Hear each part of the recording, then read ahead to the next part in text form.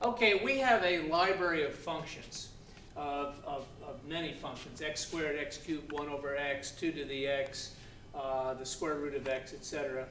And other things can happen to these functions besides being translated around. And one of them is you can multiply the function by a coefficient like that. And if we look at an a, a real number a, greater than 1, we're going to multiply it times our function.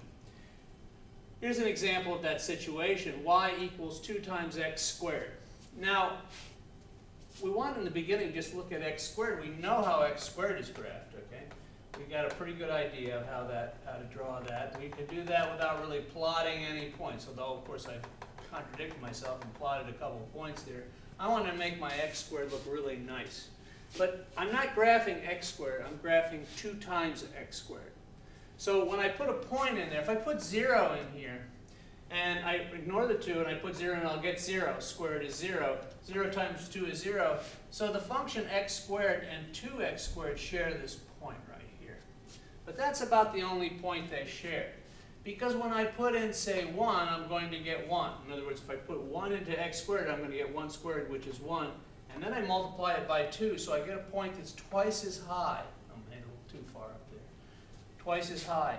And if I put in another uh, uh, point into my x squared, before I multiply it by 2, I'll get points on this curve. But then when you multiply them by 2, they become twice as high.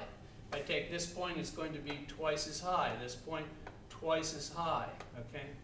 And so if I look at this graph, look what happened to my x squared. I missed that point there, but like this.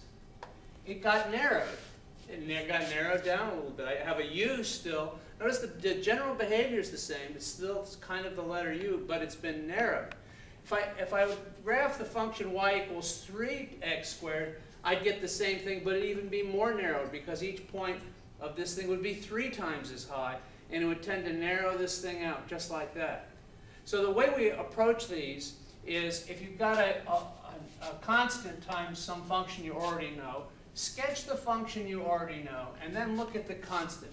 If it's greater than 1, then you can find points to the new function simply by saying, well, if we're say 3 times there, 3x squared, each point would be 3 times as high, and you just estimate. Notice that, the, again, that the behavior, the general behavior is the same, and it's, this is as important for what it doesn't do as for what it does do. And you're still going to positive infinity on this side, still going to positive infinity on this side. Now if we move over here, we'll look at another one. Only in this case,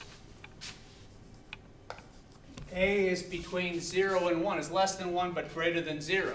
Okay? And I'm going to take another one of our favorite functions, one we already know everything about, and that's the square root of x. And what I've really got here, I don't have some kind of fancy rational function. What I've got here is 1 third times the square root of x. So I'm going to first look at the square root of x. I'm going to put that in a dotted line. And then I'm going to say, well, what happens to it when you multiply it by one-third? Well, if I put 0 in, okay, uh, I'll, I'll, I'll, hold, I'll block out the one-third. If I put 0 into just the square root of x, of course, I get the square root of 0, which is 0. And if I multiply one-third times 0, I still get 0. So these share this point the square root of x and one-third the square root of x share this point. But that's the only one they share. If I put, say, 1 in here, each point's going to be one-third as high, so it'll be one-third. Here I'm as one-third as high, okay? One-third as high. So the behavior is similar, but look, it's underneath this one. It's pushed more down toward the x-axis, and it's a little bumpy. It's hard to do it that way. And I advise, I'd advise you to get out your calculator and put in the square root of x all by itself, and then put in the one-third times the square root of x, or the square root of x over 3. And you'll see that it'll graph this like this, and it'll graph another one inside.